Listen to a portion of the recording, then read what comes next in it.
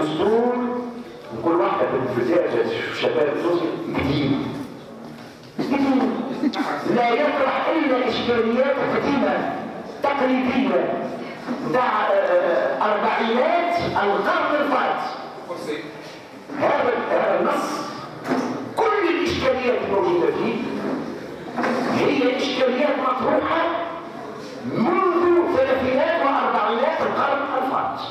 لا يوجد فيه طرح من الإشكاليات الجديدة. التحديات الجديدة للمجتمع التونسي. الثورة لما تصير عندها دور واحد. إذا كان إذا كان تلعبوا تكون مشهد إذا كان ما لعبتوش فشلت. هي أنها تمكننا من اختصار التاريخ emprunter des raccourcis de l'histoire. بمعنى وضع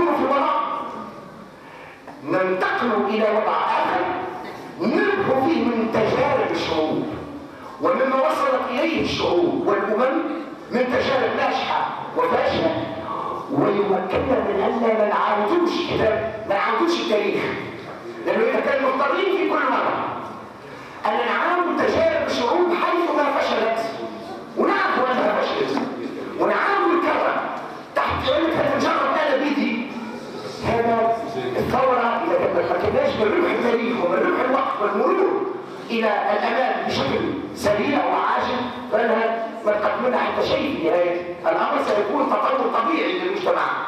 تطور طبيعي وبالتالي تطور بطيء الثورات هي اختصار للتاريخ des raccourcis de l'histoire إما نعرف باش نحكوا فيهم les raccourcis de l'histoire ce sont des véhicules قيادتهم صعيبة إما نعرف باش نسوقوها العارضة هذه ونقدموا بها وإلا تفقد كل جدواها وتتحول العملية إلى مجرد تطور طبيعي في المجتمعات